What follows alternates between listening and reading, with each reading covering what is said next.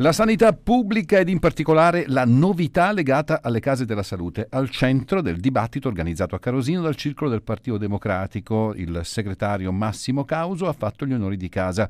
Criticità e novità sono state illustrate ai cittadini con gli interventi di Massimo Serio, presidente provinciale del PD, e Mino Boraccino, consigliere per l'area di Taranto del governatore Michele Emiliano. Abbiamo parlato anche del, delle novità introdotte eh, dall'ex ministro Speranza della sanità territoriale, il potenziamento della sanità territoriale per evitare di eh, decongestionare il pronto soccorso con ricoveri inappropriati e quindi con l'avvio del progetto delle case della salute. Qui in provincia di Taranto la AS di Taranto ha pronti già 17 progetti, 17 case della salute che si realizzeranno nella stragrande maggioranza dei comuni della provincia e che già all'inizio dell'anno vedranno l'avvio dei cantieri e presumibilmente entro il 2025 l'entrata in funzione di queste case alla salute. Parliamo di fondi già assegnati, parliamo di risorse per circa 45 milioni di euro che la AS di Taranto gestirà in questi 17 comuni, che è una grande rivoluzione, una cosa molto importante.